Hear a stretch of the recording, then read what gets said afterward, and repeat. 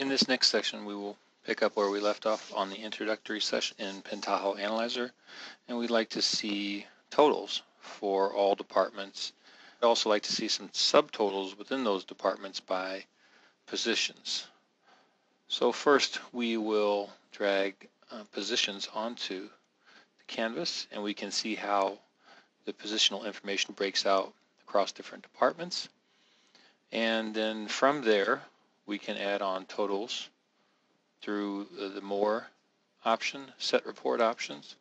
And here uh, we don't really care about totals for rows, we just want to see totals for columns. So now within our Pentaho Analyzer, we, we see grand totals for columns.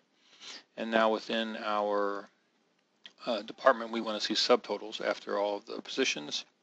We want to see subtotals for executive management department, for finance department, uh, and the other departments. And that is uh, how we add totals and subtotals. And uh, once we're done with that, we'll just save our analyzer report and then others can see that information. So once we've saved it, we will look at our steel wheels analysis and I do see our department financials uh, right away there. So we'll We'll double click on department financials and that now reflects the total and subtotal information that we just included.